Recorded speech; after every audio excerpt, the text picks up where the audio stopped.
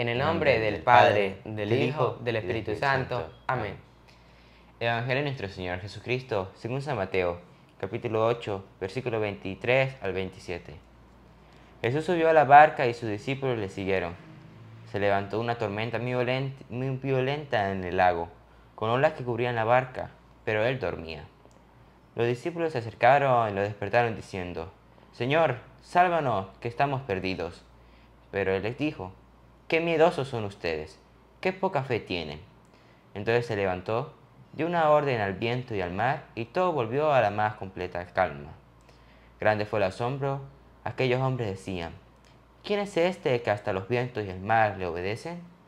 Palabra del Señor. Gloria a ti, Señor Jesús. El Salmo, eh, Salmo 130, versículo 5, nos dice, confío en el Señor mi alma espera y confía en su palabra. Hola, hola, queridos hermanos, muy buenos días a todos aquellos suscriptores de este, este, su canal de Semillita de El Torito. Hoy Dios nos da vida, hoy Dios nos da salud. Esperamos que todos ustedes se encuentren eh, muy bien y prestos para oír, oír la palabra de Dios. A todos aquellos que han dejado un tiempo, a todos aquellos que han reservado ese, ese momento para ese eh, para esa escucha de la palabra de Dios. Hoy este, los apóstoles se preguntan, ¿quién es este a quien hasta los vientos y el mar le obedecen? ¿Un Dios poderoso? Sí, pero que no lo conocemos aún. No conocemos qué, puede, qué, qué tan poderoso es. Creemos que es un Dios solamente para decir, yo creo en Él. Creemos que eso es Dios. Creemos que eso es Dios solamente hasta allí. Un Dios que solamente este, nosotros lo tenemos este, presente porque eh, mi papá o mi mamá o mis abuelos me lo enseñaron. Así es. Pero hoy, hoy este, da una prueba, una prueba de que Él existe. Este, esta lectura de, ahorita Anthony ya nos va a volver, ya nos va a decir de este, qué cita eh, en la Biblia se encuentra, ¿sí? Una lectura para meditarla, para poder meditarla usted solo o en familia. Así es. Pero tenemos que tener siempre este, ese Espíritu Santo para que Él nos ilumine, para que Él nos dé ese entendimiento. Ah, pero antes este, presentar aquí a mi primo Anthony que después de su saludo pues nos va a decir la cita y va a empezar con el Evangelio. Hola, un saludo a ustedes que, que nos ven a través de las redes sociales. Muy bien. Bien, el Evangelio de hoy es San Mateo capítulo 8, versículo 23 al 27. Ajá, dale. Jesús subió a la barca y sus discípulos le siguieron. Se levantó una tormenta muy violenta en el lago, con olas que cubrían la barca. Ah, este, Jesús, Jesús, este, navega a través de los ríos, a través de los mares, a través de los lagos, ¿sí? Con sus discípulos a predicar, pero resulta que en una de esas, este, este, prédica que él da, este, se monta y empieza a navegar y se desata una gran tormenta. Así es, estaban los discípulos y estaba el Señor, siga. Pero él dormía. Pero él estaba dormido. En esa gran tempestad estaba dormido. ¿Cuántas veces nosotros sentimos esa tempestad que no somos capaces ni de cargar con nuestra alma? ¿Sí? Que ya todo, no, no me importa nada ya este, quiero hasta morirme, ¿sí? Por este, eh, cualquier situación. Bueno, no cualquier situación, es para, este, tiene que ser algo grande para que este, tenga yo el pensar de querer morirme, ¿no? O sea que tenemos un problema este, enorme. Y Dios, ¿cuántas veces nosotros creemos que Dios está dormido? ¿Cuántas veces creemos que Dios no me está prestando atención. Pero ¿qué pasa? ¿Por qué desde Dios actúa así con nosotros? Siga. Los discípulos se acercaron y lo despertaron diciendo. ¿Por qué? Los discípulos se acercan y lo despiertan. Despertar al Señor. San Mateo capítulo 6, versículo 30, ¿qué nos viene a decir? Los discípulos despiertan al Señor. Estaba dormido y ellos, mientras tanto, están este, allí este, agobiados porque, o asustados porque pues, eh, una de esas este, vientos tan fuertes podría incluso eh, ahogarlo y acabar con su vida. Despiertan al Señor, San Mateo capítulo 6, versículo 30. Y si Dios viste así al pasto del campo, que hoy brota y mañana se echa al fuego, ¿no era mucho más por ustedes? Pero él, hay un Dios que nos ama, regresa al Evangelio, hay un Dios que nos ama y va a hacer mucho más por nosotros, siempre y cuando que nosotros lo tengamos presente. Siga.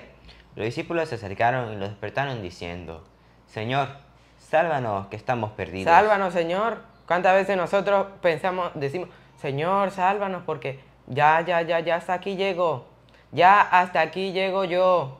Sálvanos, Señor. Siga. Pero él les dijo, Pero él les dijo, qué miedosos son ustedes. qué miedosos son ustedes. Y antes de que me lea la otra frase, San Mateo capítulo 8, versículo 10 nos va a demostrar algo muy importante. ¿Se acuerdan de San Mateo capítulo 8, el versículo 5? Lo compartíamos en estos días, Antonio y yo aquí en Semillita del Torito, en el canal, si ustedes lo quieren ver. Este, se meten a la página principal del canal y allí lo pueden ver. Pero vamos a leer el versículo 10. El versículo 10. Dale.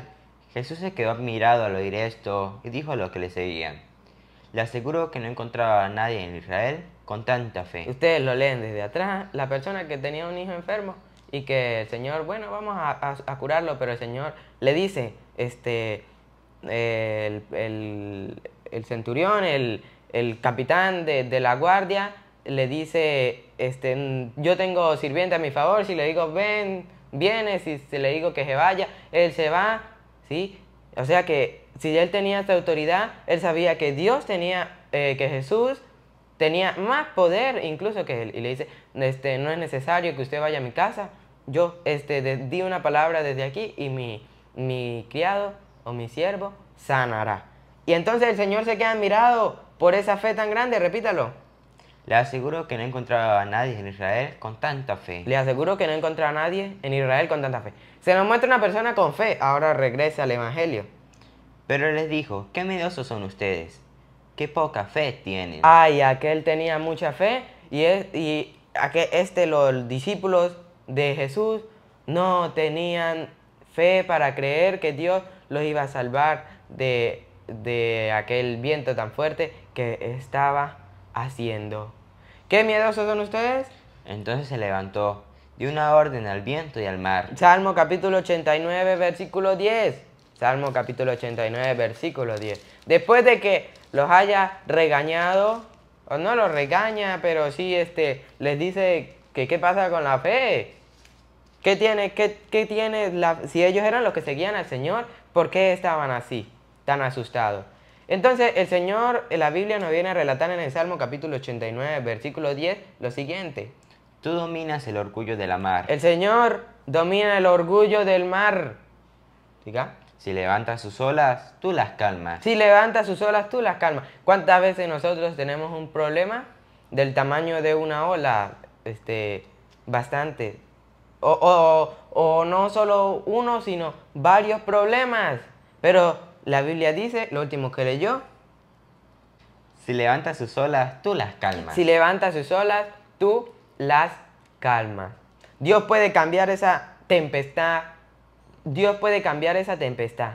Pero siempre y cuando nosotros estemos dispuestos a seguir a Dios de todo corazón. Vamos a leer también el Salmo capítulo, el Salmo capítulo 65, versículo 8. Salmo 65, versículo 8. Nos viene a hablar sobre Dios Todopoderoso. Un Dios que se nos presenta a nosotros de muchas formas, pero que nosotros, nosotros somos tan, tan, este, tan débiles en la fe muchas veces que no queremos eh, aceptar o no queremos creer que existe un Dios.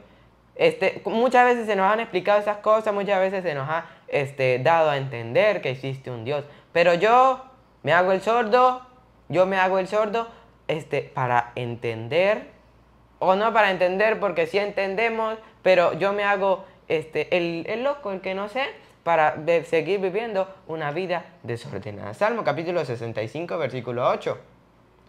Tú calmas el bramido de los mares y el fragor de sus olas. Tú calmas el bravío de los mares. Tenemos un problema, recurramos al Señor.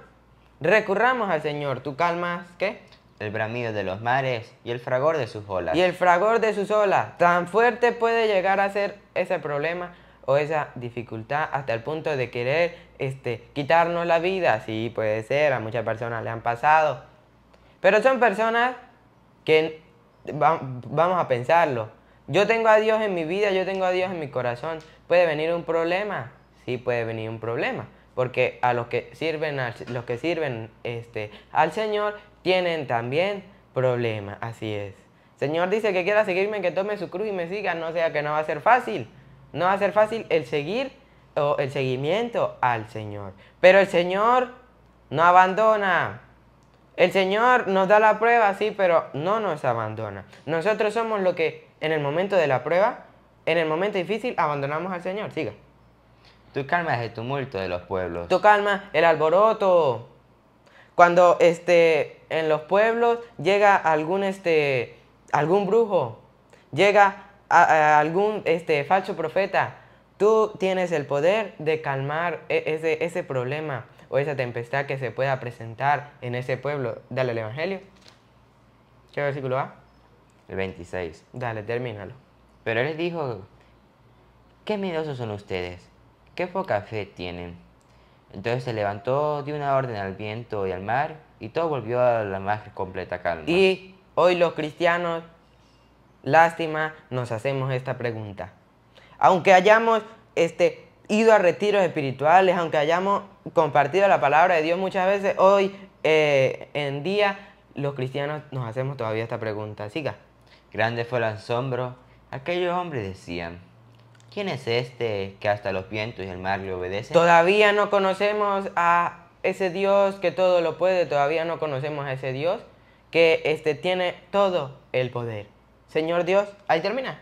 Señor Dios, te pedimos para que en este día este, muchas personas puedan llegar a ver esta enseñanza, pero te pedimos también para que no solo la vean, sino que la interioricen, que la hagan suya y que a su vez, cuando lleguen a ese entendimiento completo de esta enseñanza, a su vez también la puedan compartir para que muchos hermanos este, aprendan más sobre esa fe que hay que tener, sobre ese Dios que existe pero que muchas veces nosotros lo abandonamos. Muy bien, Anthony este, ya este, casi estamos llegando al final de esta enseñanza. Invitarlos a que... A que se suscriban a nuestro canal de evangelización. De Semillita del Torito. A que le den un... un me gusta, un like. Y a que le den la... Tin, tin, campanita, ¿para qué? Para que le lleguen más y más videos. Así es, hermanos. Y no nos quedemos con estos videos. Compartámoslos a través de nuestras redes sociales, a través del WhatsApp, a través del Facebook, a través de todos los, los medios que ustedes puedan tener a su alcance para que la palabra de Dios